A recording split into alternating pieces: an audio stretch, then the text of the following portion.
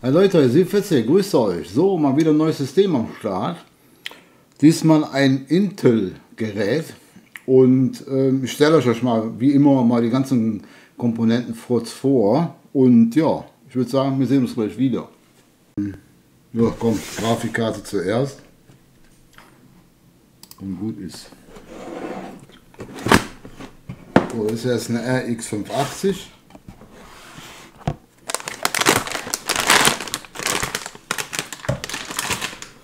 Ich genau da noch ein Zubehör dabei ist. Mal gucken.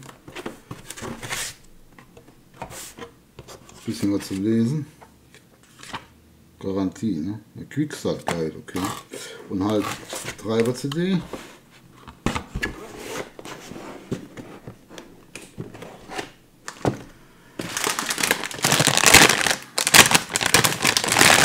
So, wie gesagt, seht ihr ja schon, RX 580.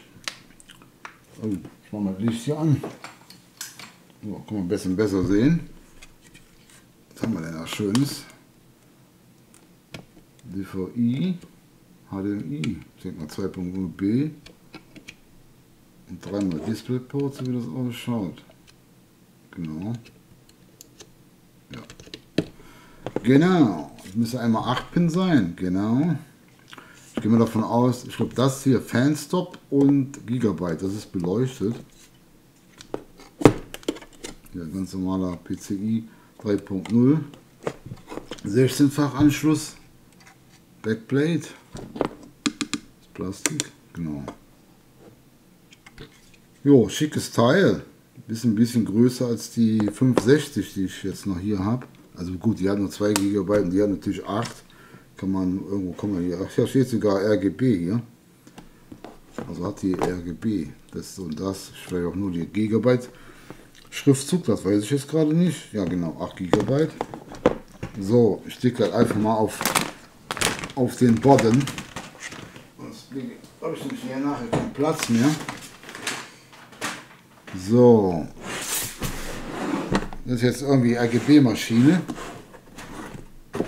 Na komm schon. Das ist jetzt hier das Board. Z390 Aorus Ultra. Ihr könnt das auch schon sehen. Es liegt auf dem Kopf, sehe ich gerade.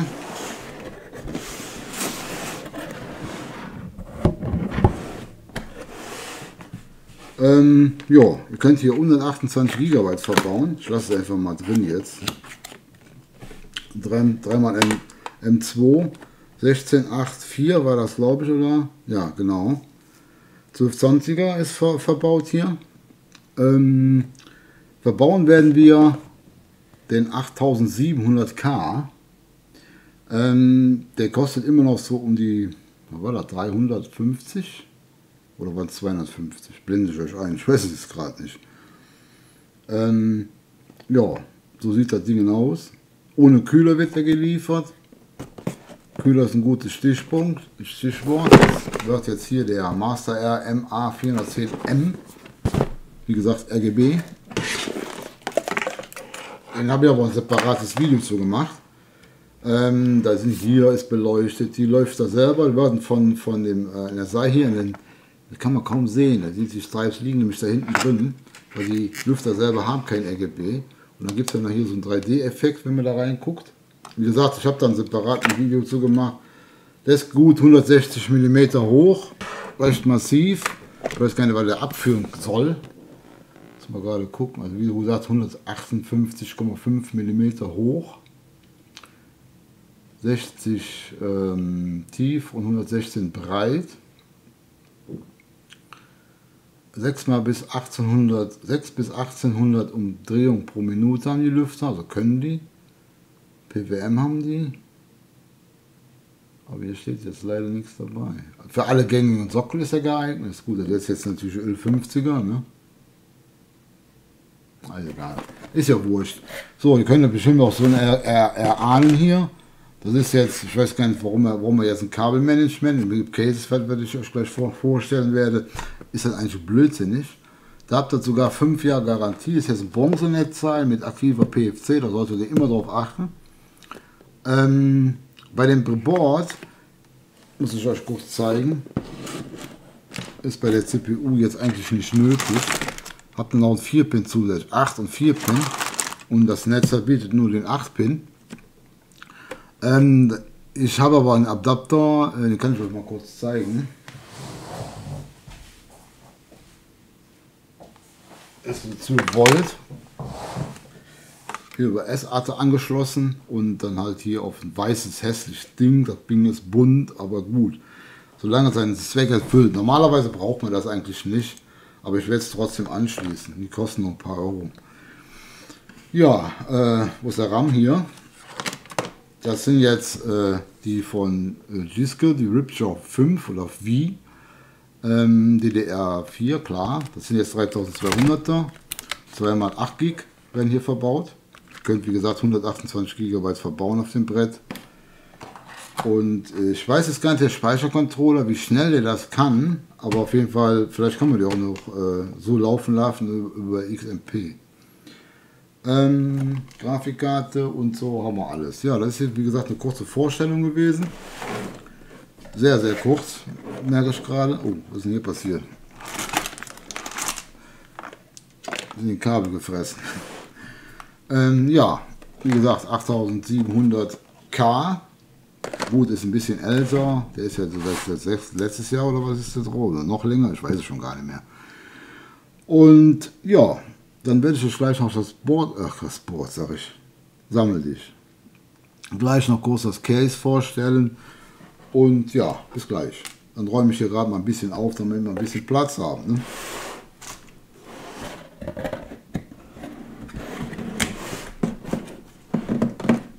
So, hier haben wir das Case. Das ist ja ein Intertech S3901, meine ich wäre es gewesen. Genau. Impuls. So, ich habe jetzt vorab äh, schon umgebaut, weil hier ist normalerweise ein 120er äh, RGB-Lüfter drin also im Lieferumfang mit drin ist. Den habe ich aber jetzt oben reingepackt. Hier ist jetzt ein NZXT, ein 140er in weiß. Vorne sind zwei ähm, äh, Povix 2 habe ich da verbaut, 240er und ganz unten, ganz richtig zu, und ganz unten ist ein Cooler Master, glaube ich, ein 120er. Falls der Besitzer, der neue, also derjenige, für den ich die Maschine bauen darf, ähm, sich entscheidet, irgendwann eine HDD zu verbauen, dann braucht er sich da um Hitzeprobleme keine Gedanken zu machen. Ja, äh, Tempered Glass, ATX, Micro ATX und ähm, Mini ATX. Wird natürlich ein bisschen merkwürdig aussehen, aber gut, wer es mag. So, ihr könnt direkt hier zwei SSD verbauen, SSDs verbauen, aber ich werde euch mal die Innereien zeigen. Ähm, das Innere, besser gesagt. Ich habe zwar ein separates Video dazu gemacht, aber trotzdem. Nicht jeder guckt meine Videos komplett, ne? klar. Und äh, ja, lasst mal ein Abo da. Jetzt, äh, in der Zeit, wo ich am Schrauben bin, so, ihr müsst natürlich jetzt vorsichtig sein, die Scheibe da rauszuholen. So, kann man ein bisschen besser sehen. Wie gesagt, vorne zweimal 140, einmal 120, einmal 140, einmal 120 besser sehen hier. Da ist der Lüfter, der normalerweise hinten verbaut ist. Staubfilter, Gummifüße, Gummifüße. Ähm, Netzteil ist auch entkoppelt. Ich weiß nicht, ob man das sehen kann. Das sind so Streifen hier, so ungefähr so lang auf beiden Seiten. Sieben Slots, alle geschraubt, sehr schön. Das Case kostet um die 70 Euro. Und was ein Gimmick ist, wie gesagt, RGB. Hier oben noch äh, zwei Streifen und hier vorne hier vorne noch. Ähm, die könnt ihr entweder hier steuern, wenn ihr jetzt keinen RGB-Anschluss hättet. Ist allerdings alles adressierbar. Da braucht ihr halt einen, äh, so einen 3-Pin-Stecker fürs Board. Ansonsten könnt ihr halt hier steuern. Jetzt habt ihr hier noch eine, ähm, na sag schnell, eine, eine Lüftersteuerung. Da werde ich jetzt den oberen, den RGB-Lüfter und den 120er vorne, werde ich dann hier, kann man hier steuern. Entweder, oder war da schnell, das kann man kaum sehen. Also hier H, High und in der Mitte ist nichts. Und ganz unten ist natürlich dann Low. Low reicht, damit da ein bisschen Luft rausgeht und gut ist. Ähm, ihr könnt bis zu 175 mm CPU-Kühler verbauen. Vorne ist ein Radi, oben ist ein Radi möglich. 240er. Hier vorne 320er oder 280 nehme ich an. Da bin ich mir jetzt nicht sicher. Muss ich mal gerade in die Beschreibung gucken. Das ist eine Beschreibung, ne? kann man kaum mal lesen, so klein ist die. Ähm, 100, 3 120 oder 2 140 vorne. Ja, auf die Schnelle finde ich jetzt leider nichts. Aber ist zumindest noch in Deutsch, ja. Auch wenn man kaum mal lesen kann, aber die winzig ist die, die Schrift. Ähm, SSDs könnt ihr hier verbauen. Eine werde ich verbauen, die 480 wie gesagt, von Kingston. Ähm, ATX, MicroATX und ITX, habe ich aber glaube ich schon erwähnt. Egal. Ja, Grafikkarten bis zu 375 mm, also praktisch alle. Ne? Äh, seine gebauten Radi ein, der ungefähr hier ist, aber dann habt ihr bestimmt immer noch so 320. Meine aktuelle, meiner Vega, ist ja 305 lang, also würde die auch locker hier reinpassen. Jo, ähm, noch zu erwähnen ist hier, also habt ihr nicht Mikro ähm, und Mikrofon und äh, Kopfhörer, 2x3.0 und 2x2.0 äh, USB-Anschluss. Wie gesagt, 70 Euro kostet es, um die 40, ich habe jetzt 65 bezahlt. Sprich ich, ich habe jetzt für ihn bestellt, von daher. Und ja, schickes Teil. Ich finde das richtig nice, wie man so schön sagt. Ist ja, glaube ich, auch schon Neudeutsch. Ne? Okay, Leute, dann äh, sind wir soweit durch. Wir sehen uns beim Einbau. Wie gesagt, lasst ein Abo da. Ein Like, ein Like, ein Like, ein Like, nice, Like. Äh, boah. Ich glaube, ich muss ähm, mal was essen. Eine Pizza oder so. Ich habe jetzt Bock auf Pizza.